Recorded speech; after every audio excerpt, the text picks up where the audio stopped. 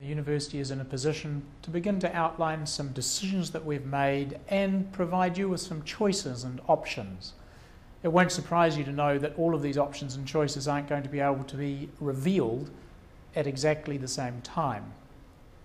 Let us say first that we are committed, and I have no reason to believe that we will not be teaching a full year academic program during the course of this calendar year. That said, it is also the case that a number of opportunities have opened up for students to do their learning in a little different way. For our College of Education students, there are opportunities to extend flexible online learning. For our science students, there is the opportunity to bring forward field-based research. For other groups of students, there will be other opportunities but the one opportunity we were able to announce today was an invitation that we received from the University of Adelaide to host up to 500 students on their campus in Adelaide for this semester. That's this first semester of 2011. I'd like to outline in a little detail what is actually being offered. But first, let's make sure we know to whom the offer is being made you must be an enrolled student at the University of Canterbury. Those of you who were caught in the enrolment cycle will be relieved to know that we have automatically progressed your enrolment status through so that you are fully enrolled. That at least gives you choices. Not only must you be an enrolled student, but you must have a New Zealand passport. There is some urgency to make our choices and get students into the University of Adelaide because they started teaching this week. So if you're enrolled and you've got a passport, then the rest of this message might give you an option. The University of Adelaide is an institution like ours. It was founded at the founding of Australia and at the same time New Zealand. It's a little older than ours. It ranks higher than us in the Times Higher Education Supplement. It's a quality institution. It has a wide range of programs in arts, commerce and science in particular. We think that first and second year students may be the ones most attracted to the more generic offerings.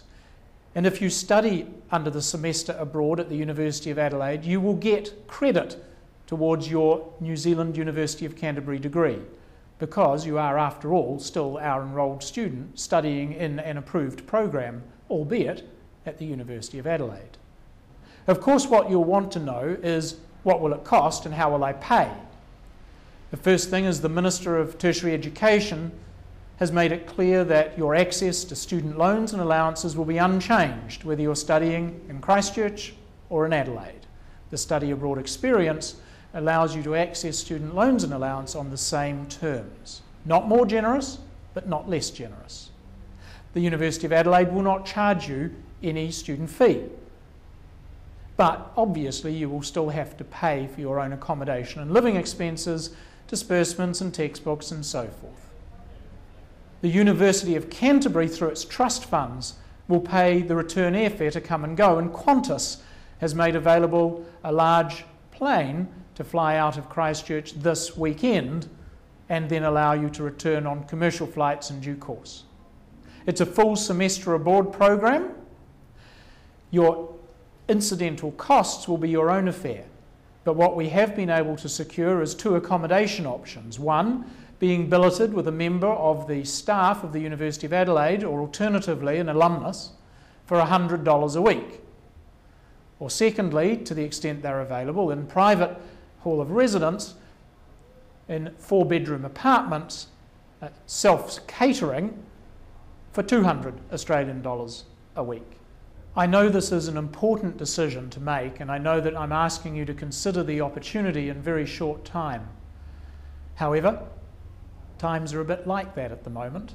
If you can grab a bag and this seems to fit with your own degree program and study, and, and our analysis is that this can do you no harm and may do you good, then I look forward to seeing an application, giving you a decision, and for those of you who are chosen, seeing you off at the airport.